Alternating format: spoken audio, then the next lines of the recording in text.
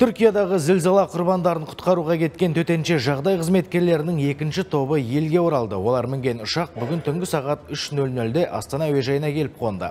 Жедел топтың алғашқы жасағын кеше Алматы қаласында күтіп алған едік. Апат болған елге Қарағанды, Ақмола, Астана мен Алматыдан 100 шақты құтқарушы аттанған. Барлығы дінаман. Қазақстандық төтенше жағдай қызметкерлері 7 адамды құтқарып, үйінді астынан 88 мәйіт шығарған. Ерлік танытып елге оралған мамандарды министр Юрий Илин мен Түркияның Қазақстандағы елшісі күтіп алды.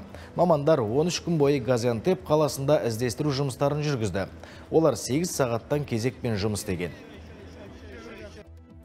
8 сағат сайын сменаны ауыстырып э, солай жұмыс істеп отырдық ең қиыны ең ауыры мен үшін адам тапқаннан кейін ойлайсың тірі болса ғой деп.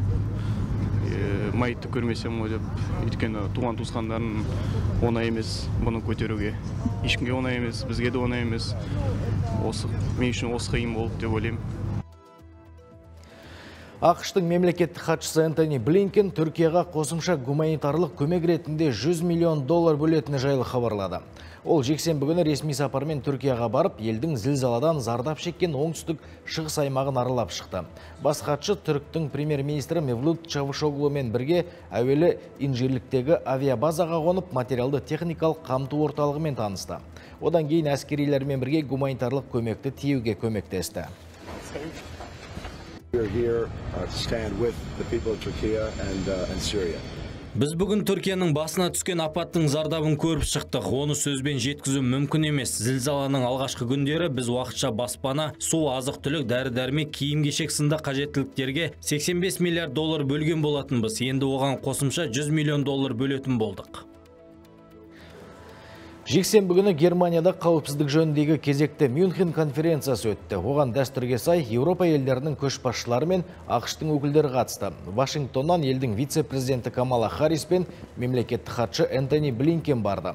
Ал Еуродақтан жетекші экономика көшбасшылары Германия канцлері Олаф Шольц пен Франция президенті Мануэль Макрон қатысты. Биылғы Мюнхен конференциясының басты ерекшелігі Ресейдің шақырылмауы. Күн тәртібіндегі басты тақырып Ресей-Украина соғысы.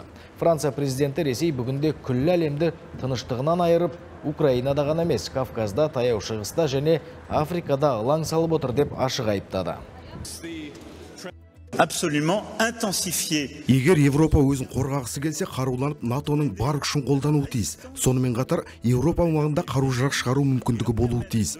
Сондықтан мен қорғаныс саласына инвестицияны көбейтіп, мықты бағдарлама жасау қажет деп ойлаймын. Бүгінде Ресей бәрімізге қауіп төндіріп отыр. Wsparcia Ukraina się nie obroni. Бізден қолдау болмаса Украина өзін өзі қорғай алмайды. Батыстың көмегінсіз Ресей Украинаны жаулап алады. Одан соң күллі әлемде тыныштық болмайды. Себебі Ресей Украинамен тоқтап қалмайды. Сондықтан біз бұл соғысқа барымыз салуымыз керек. Солтүстік Корея ешбір көршісін хабардар етпей өзінің ең ірі баллистикалық ракетасын сынақтан өткізді. Хвасан 15 континентаралық ракетасы шамамен Жапонияның батыс жағалауына барып құлаған. Бұл әрекетмен Солтүстік Корея ақш пен Оңтүстік Кореяның бірігіп әскери жаттығу өткізуіне қарсылығын білдірмек болған. Жексенбі күні ел президенті Ким Чен Иннің қарындасы Ким Йо Чон Америка Біріккен ұлттар ұйымы қауіпсіздік кеңесін Пхеньянға қарсы өзінің пасық саясатының құралына айналдырып жіберді деп мәлімдеме жасады. Ал Жапония премьер-министрі Фумио Кисида көршісінің бұл әрекеті халықаралық қауымдастыққа төнген қатер деп наразылық нотасын білдірді.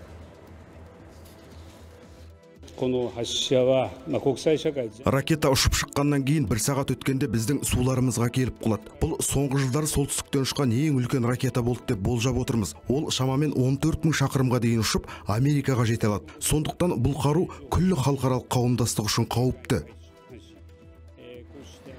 Бразилияда табиғи апат. Елдің Сан-Паулу штатында толассыз жауын мен су тасқыны салдарынан лай көшкіні жүріп 36 адам қаза тапты. Жүздеген адам қауіпсіз жерге эвакуацияланды. Орталықпен байланысы жоғалған кей аудандарға құтқарушылар мен жедел жәрдем көліктері жете алмай жатыр. Олардың ішінде карнавалға келген туристер де жетерлік. Сан-Паулу билігі аймақта 180 күндік төтенше жағдай жариялады. Мамандардың болжауынша нөсер жауын әлі біраз жалғасады. Өткен сенбіде Санта спортында желдің жылдамдығы сағатына 55 шақырымнан асып, толқындардың биіктігі 1 метрге жеткен. Қымбатты көрермен, шетел